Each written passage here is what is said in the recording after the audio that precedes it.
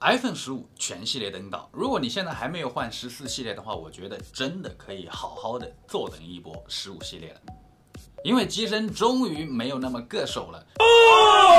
昨天晚上我做了一个梦啊，说 iPhone 十五四个系列机身呢变得更加圆润了，通体来说是圆润与直角边的结合体。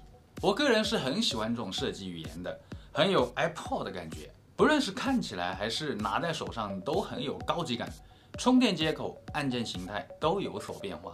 Pro 系列的震动键变得让我有点看不明白了。充电接口你们也可以猜测一下。整体机身比现款的十四系列小了一毫米，但是屏幕边框变得更窄了，显示面积也大了一丢丢。所以你们猜测一下我的梦到底准不准确？大家可以坐等一下九月份啊，打我脸。抖音。